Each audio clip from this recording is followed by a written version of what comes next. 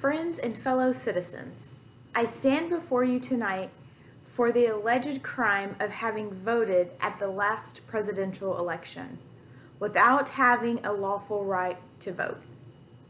It shall be my work this evening to prove to you that thus voting, I not only committed no crime, but instead simply exercised my citizens' rights, guaranteed to me and all United States citizens by the national Constitution, beyond the power of any state to deny. The preamble of the federal Constitution says, We, the people of the United States, in order to form a more protected union, establish justice, endure domestic tranquility, provide for the common defense, promote the general welfare, and secure the blessings of liberty to ourselves and our posterity. Do ordain and establish this Constitution for the United States of America. It was we the people, not we the white male citizens, nor yet we the male citizens, but we the whole people who formed the Union and we formed it not to give the blessings of liberty, but to secure them. Not to the half of us and to the half of our posterity, but to the whole people, women as well as men. And it is our downright mockery to talk to women to their enjoyment of the blessings of liberty while they are denied the use of the only means of securing them provided by the domestic republic government, the ballot for any state to make sex a qualification that must ever result in the disfranchisement of the entire half of the people is to pass a bill of attainder or an ex post facto law.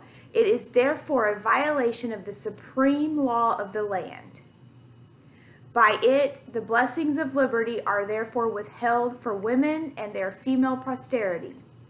To them, this government has no powers derived from the constant of the governed. To them, this government is not democracy. It is not republic. It is an ascriarity and hateful archery of sex, the most hateful archery ever existed on the face of the globe. The wealth where the rich govern the poor.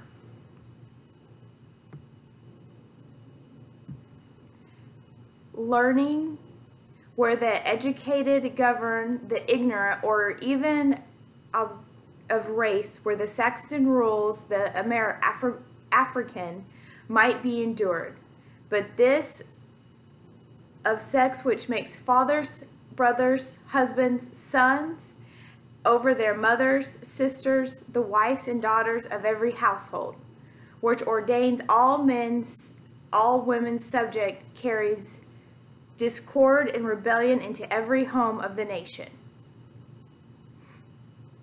Webster, Worcester, and Bouvier all defined as citizens to a persons in the United States entitled to vote and hold office. The only question left to settle now is, are women persons? And I hardly believe any of our opponents will have the hard hood to say that we're not being persons, then women are citizens, and no state has the right to make any law or to enforce any law that shall abridge their privileges.